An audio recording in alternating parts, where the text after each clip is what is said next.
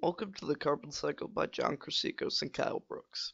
Today we will be discussing the way that carbon moves throughout the world.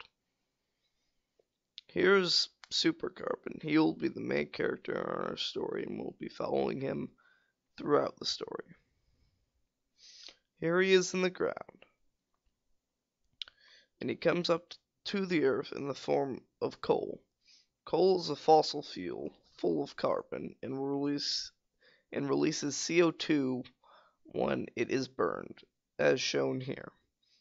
When CO2 is burned, it diffuses into the atmosphere over time.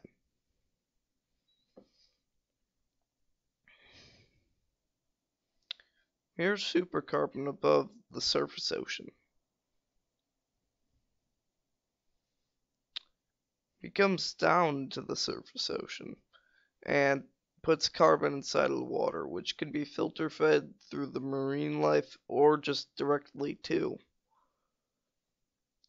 And when the marine life full of carbon from the atmosphere die, they deposit onto the deep sea beds.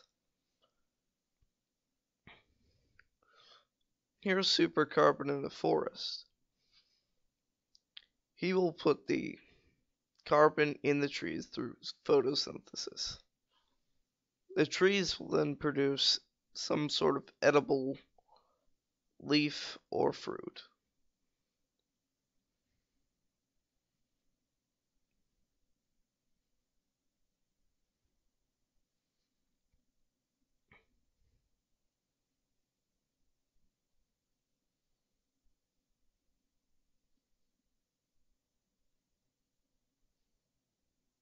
And this leaf or fruit or fruit will be eaten by some animal.